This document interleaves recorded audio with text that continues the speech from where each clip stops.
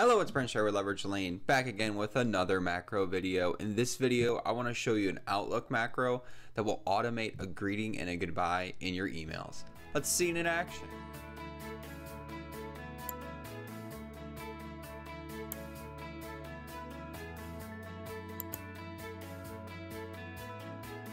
Alright, let me show you this macro by navigating to Outlook and I already have this open email that I'm replying to and to fire this macro what I've done is I've created this custom button greeting goodbye. If I click this you're going to get your greeting or goodbye based on the time of the day and the day of the week. Now because it's the morning I've put in good morning to start out my email but if it's towards the end of the day it'll actually automatically enter in have a good night in the goodbye section to towards the bottom of your email. Another cool thing is if it's actually a Friday afternoon, you'll actually enter in enjoy your weekend. Now this is a great way to stay consistent with your communication with your customers and clients to deliver better service. We know we should be typing these things in and being more friendly with our email communication, but why not automate it to be extremely consistent going forward?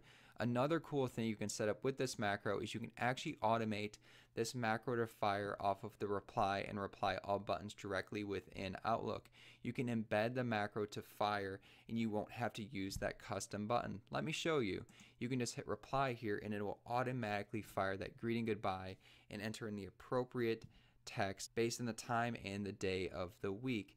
Now I will show you how to do all of this setup in our recent Macro Monday video. Just give that a look and as always, stay awesome.